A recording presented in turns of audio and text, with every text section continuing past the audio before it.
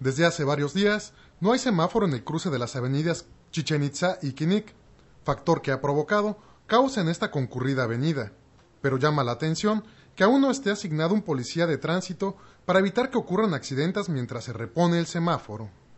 Los automovilistas cancunenses opinan que es un verdadero peligro para quienes transitan por esta intersección. Pues sí, porque si uno no tiene la precaución para pasar, pues se pasa uno sin fiarse que no hay semáforo. Bueno, pues disculpe, por ahorita ya a nosotros nos toca. Es peligroso.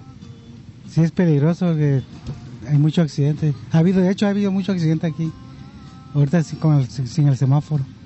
Es peligroso, fíjese cómo estamos aquí esperando el cruce y no sabemos si pasar o no pasar. ¿Ustedes qué harían, no? Y es que para poder cruzar, los automovilistas tienen prácticamente que adivinar cuándo les corresponde avanzar, situación que pone en peligro a los demás conductores que tienen la luz verde.